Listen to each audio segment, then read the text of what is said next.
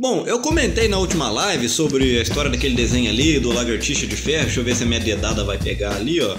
Pegou. E só que aí eu postei uma foto e tal para vocês verem, mas eu tive uma ideia. E se eu fizesse um vídeo mostrando cada detalhe do que que tem, afinal de contas, nesse painel aqui de investigação? Então vou mostrar para vocês. Começando, claro, obviamente, pelo lagartixa de ferro. Esse desenho aqui eu ganhei, cara, de um fã e de um amigo também, né? Praticamente que ele é meu amigo também, que ele fez esse desenho e ele levou para mim no, ele levou na verdade num evento que teve aqui na região um evento de cosplay, de um evento geek, né? Um evento de nerdice e tal. Que ele teve essa ideia de desenhar o Lagartixa de Ferro. Só que neste evento estava o dublador do Homem de Ferro também. Daí ele foi chamado para conversar lá no palco, lá com o dublador do Homem de Ferro e mostrou esse desenho para ele. E depois ele conseguiu me encontrar no evento que eu tava também, só que eu tava de LM Noir nesse dia, mas ele me entregou esse desenho e aí eu pendurei aqui porque eu achei maneiraço. Olha que bacana que ficou, né? Olha lá.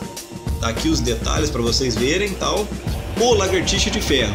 Vamos ver quem mais tem aqui. Aqui a gente tem um panfleto de academia que a minha filha pegou e entregou para mim. Eu não sei o que ela tá querendo dizer com isso, mas enfim. Aqui do lado a gente tem uma foto do felino, atrás no fundo dele assim tá, quer dizer, no fundo dele eu ia dizer que no fundo dele tá arrombado, mas atrás, tá vendo? Na rua assim, ó, tá um buracão como se tivesse tacado uma bomba na cidade, tá vendo? Acabou de explodir uma região ali e tal. A linha tá ligando ele ao a esse Pet Center Alquimia, que isso tem a ver com a origem dele. Quem não assistiu vai ter origem dele no canal. Do primeiro canal já tinha, mas eu perdi. No segundo acho que tinha também, eu perdi também. Aí no terceiro eu vou refazer a coisa porque o terceiro é o da sorte, né? O terceiro vai. É por isso que ele tá ligadinho aqui assim. Aí aqui a gente tem esse coração verde que a minha filha desenhou para mim também e ela, ela fica desenhando as coisas para mim e ela pede para eu pendurar aqui, coitado. Eu acabo pendurando. Aqui a gente tem um como se fosse um retrato falado do ET de Varginha, como se alguém tá vendo aqui, ó, ET de Varginha. E aí tem um retrato falado dele, como se alguém que tivesse visto visto, tivesse descrito, né, como o que que era e aí a pessoa desenhou ele aqui e tal com todos os detalhes para investigação. Bem aqui atrás a gente tem como se eu tivesse desenhado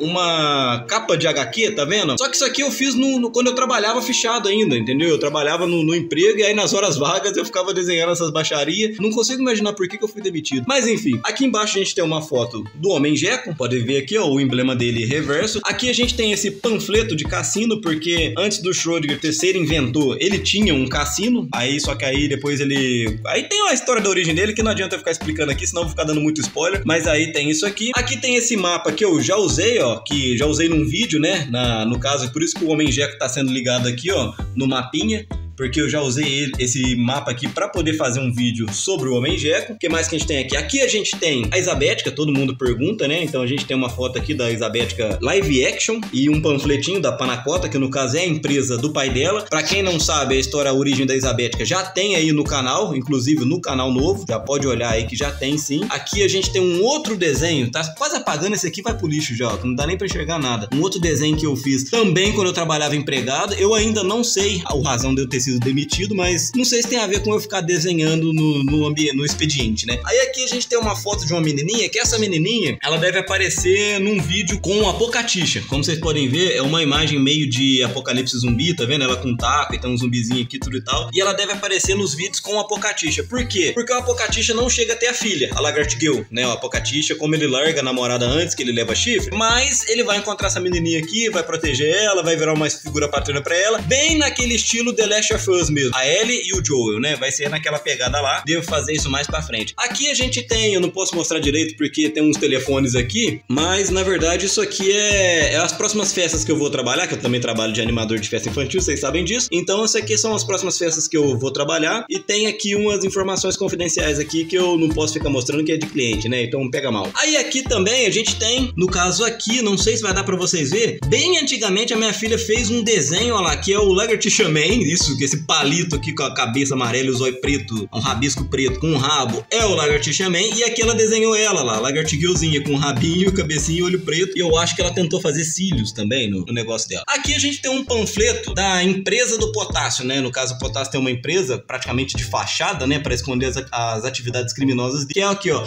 El Plátano Humano. El Plátano Humano, que para quem já assistiu Breaking Bad já tá ligado na referência aqui, né, do Los Pollos Hermanos. É aqui a empresa de fachada do potássio El Plátano Humano. Aí como vocês podem ver, lá, é aqui ó, a oferta, né, que ele é um restaurante mais popular, diferentemente daqui da Panacota da Isabética, que é um, uma coisa mais assim, da nobreza, né, a coisa mais chique. O concorrente aqui no caso é uma coisa mais pro povão mesmo, mais popular, né? E aí tem os produtos aqui que eles oferecem tal, e encha o rabo de banana por apenas R$ 6,90. É tipo um self-service sem balança, vai, que tem isso aqui. Aqui também a gente tem um negócio interessante, que é a anatomia do potássio. Os potássios, né, que para quem já viu a origem do, do potássio sabe que não é exatamente um...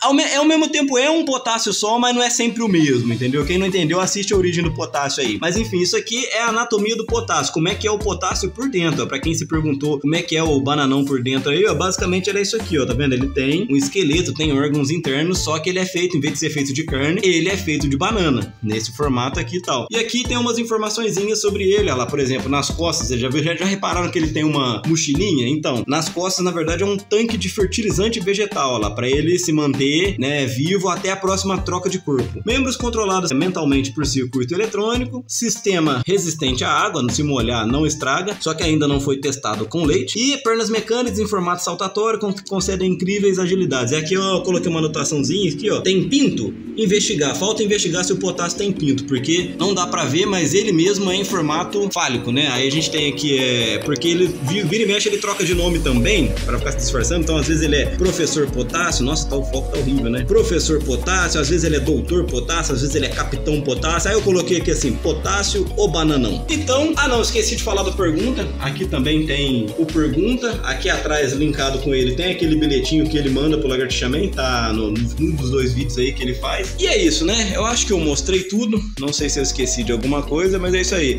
Obrigado pela companhia de vocês, valeu pela sua atenção e até o próximo vídeo.